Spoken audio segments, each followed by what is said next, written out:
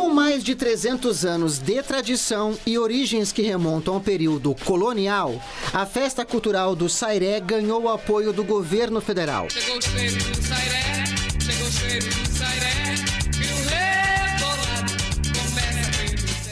Vão ser 3 milhões de reais destinados ao festival em Alter do Chão, na cidade de Santarém, no Pará.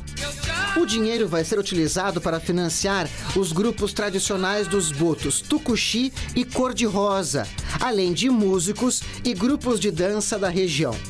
O sairé mistura a cultura indígena tradicional brasileira com elementos de religiões africanas e europeias, além de fazer referências ao folclore latino-americano.